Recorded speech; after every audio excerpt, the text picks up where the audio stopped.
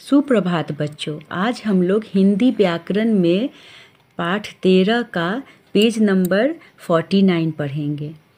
इसमें question number one है, उल्टा अर्थ देने वाले शब्द ढूंढ कर लिखो।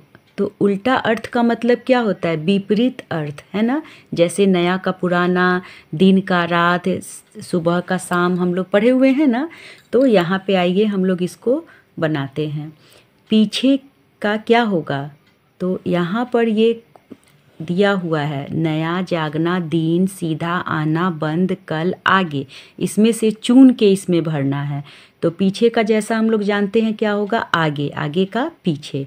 रात का विपरीत अर्थ या उल्टा अर्थ क्या होगा? दिन। पुराना का नया, जाना का आना, उल्टा का सीधा, आज का कल, सोना का जागना, खुला का खुला का क्या हो जाएगा? बंद। है ना? क्वेश्चन नंबर टू रंगीन शब्दों के उल्टे अर्थ लिख कर वाक्य पूरे करो। यानी या रंगीन पीला में दिया हुआ है ना?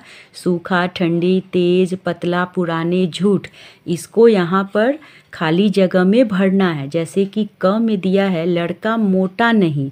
तो मोटा का उल्टा या अर्थ क्या होता है? पतला। यहाँ दिया हुआ है ना? लड़का मोटा नहीं, पतला है।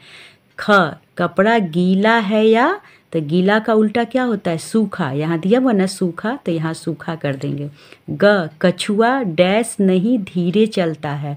तो धीरे का उल्टा क्या हो जाएगा? तेज। यहाँ दिया हुआ है ना, यहाँ तेज कर देंगे। हमें सच बोलना चाहिए।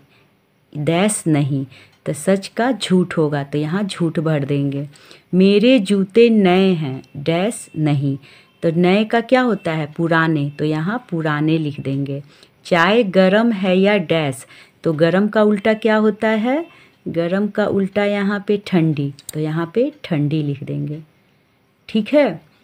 बच्चों, आप लोग इसको अपने कॉपी में उतार के बनाइएगा और विपरीत अर्थ वाले शब्द या उल्टा अर्थ वाले शब्द को याद कीजिएगा। धन्यवाद।